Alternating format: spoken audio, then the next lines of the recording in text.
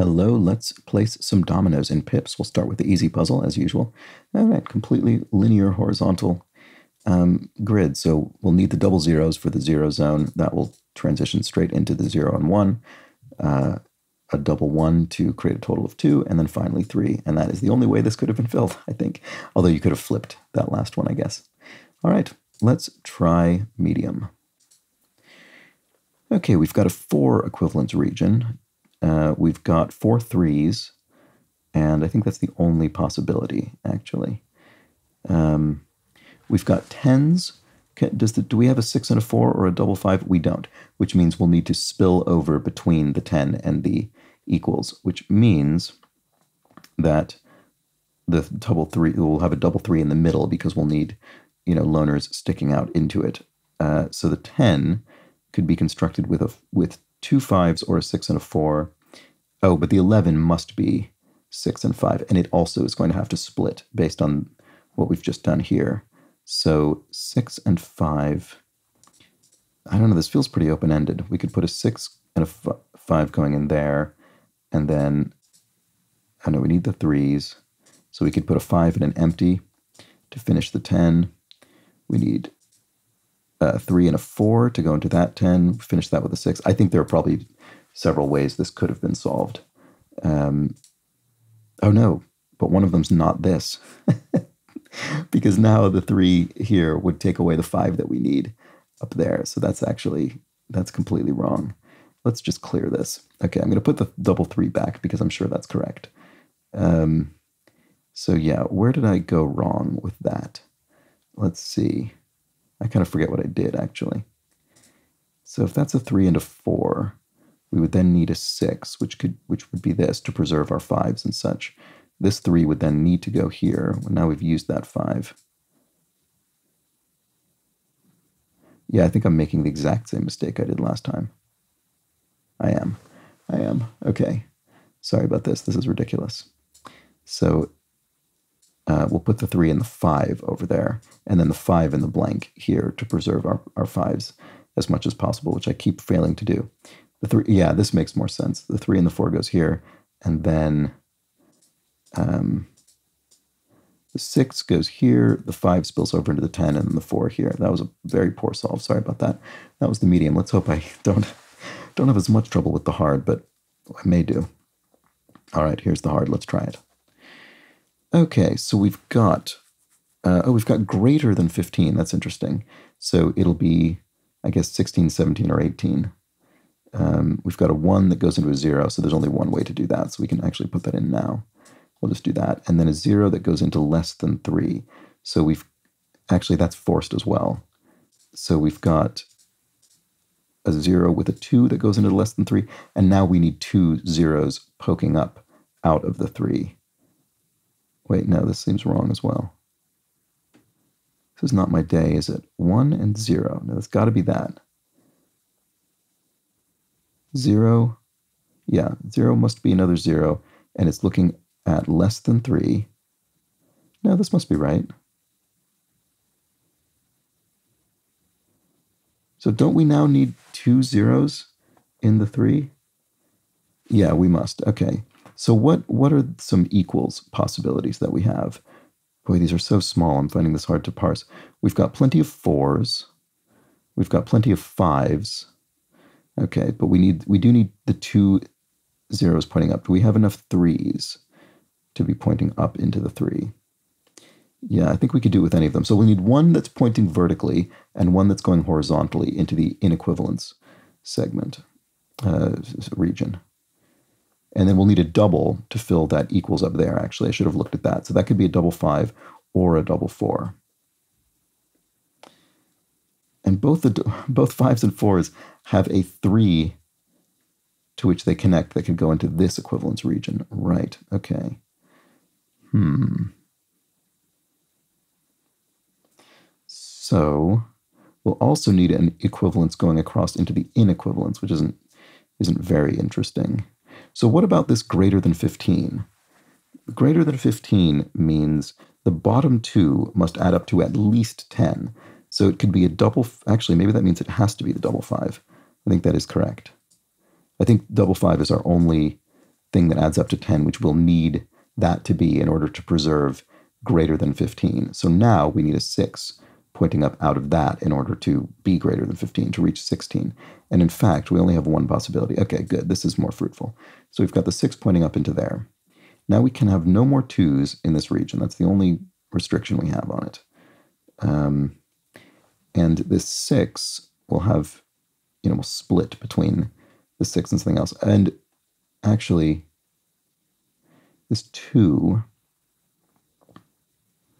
it could be two two ones, or it could be a two and a blank.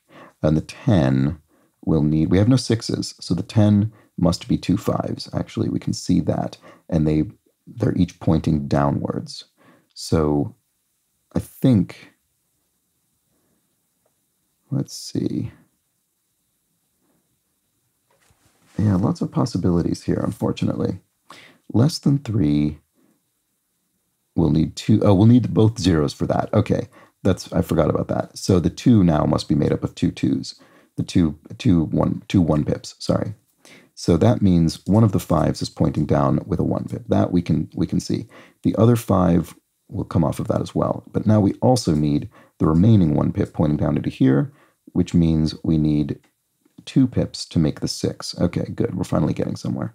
So we still have two choices for that, one of which is a five. So we've got two fives to finish off the 10. Um, what else? So how does our how do our two equivalences look now? We need three of each of something. Um, one of our fives is spoken for. We don't have enough fives. We do have three fours and three threes. Do we have ex- no? We have four threes, unfortunately, and four fours. So that that doesn't fully book either of those pip counts, unfortunately. Um, let's see. How do I do this without just sort of randomly trying things, which I'm usually not crazy about doing? Oh, no, right. I forgot. We're going to need a double number up here for the equivalent. So that is the four. That should probably that's probably been available for a while. So our last four will have a three on it because we need our other equivalents to be a three. That's good. Okay, so now we can put the three zero pointing down here. And we can also put our other three pointing across. It can't be the two because that would break the inequivalence region. So it must be the three with a five on it. Good. Okay. And then here we need our other empty half to point this way. So we are maintaining our inequivalence. 4, 2, 6, 4, 2, 6, and what? Um, 5 or 3. Uh, it needs to be the five, so we can point up into the two to finish the six region. And then finally, oh no, I've broken it. Oops. Wait, what did I do?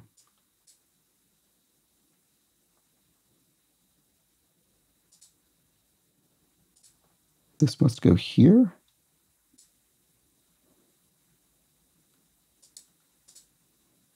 The five goes here. I hope I haven't broken this whole thing. I Hope I just made a, a mistake towards the end. I think I did. No, that's wrong because now this is this is an oh no. What a catastrophic day. I'm sorry about this. I'm going to start over because I don't there's no undo button, I don't think. So I don't, I don't know how to walk it back to where I made a mistake. We know the 1 and the 0 go here. Sorry about this. This is this is ridiculous. So um greater than 15, I'm going to just try and use the logic that I think was accurate. Um, greater than 15 means the 16 or more, which means the highest we can have in this top area of this region, the highest we can have there is 6, which means the bottom must be at least 10. Otherwise, it's not going to, to be that, that big. So at least 10, we could have two fives, and I think that's that is still the only thing that could achieve that. So I think that must go there. And now, to be greater than 15, we still need a 6. We only have one 6. That goes here. So far, so good, I think. Okay. Um,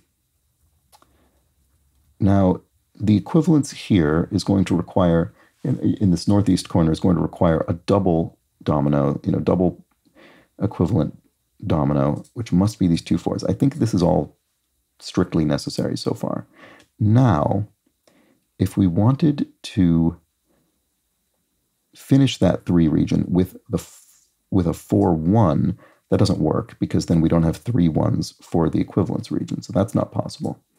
Could it be four zero? Do we have three zeros for the equivalence region? We do in theory, but then we wouldn't have any zeros left for anywhere else. And I think we will need, well, maybe we won't need some. No, we will. We will, because we've got the zero down there that we need to fill. So we need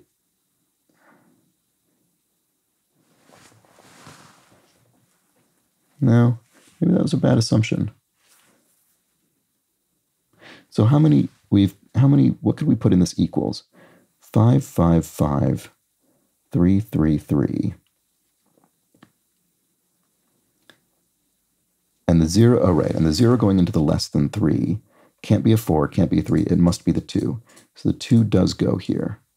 That is that must be right, yes. And that's why we still needed two empty dominoes for the less than three or two empty halves because otherwise we'll we'll hit three and we'll break that. So we can't have the four with an empty, which means we must have the f- no, we can have a four with a one or a four with a three. We can't have a four with a one because we don't have enough ones to do the three size equivalence region. So the four points out into here. That's correct. That's all correct. Now we don't have a double three, so one of the threes points down into this zero. That we must do. Our last zero must point left because it can't point up or it would break the three equivalence. Now our inequivalence has 6, 2, 4, so we can't repeat any of those in here. So the 3, 2 can't point across because that would break that.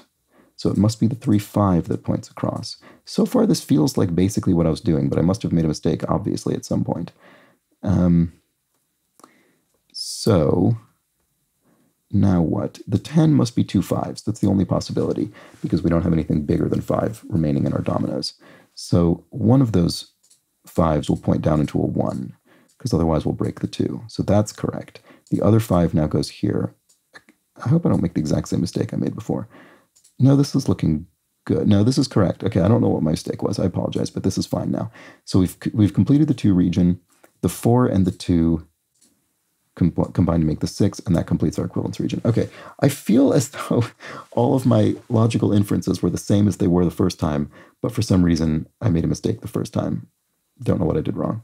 Uh, but obviously I did do something. There we go. Those were the fifths. That was hard, obviously, for me today. Um, but we got there in the end. Back tomorrow. Bye for now.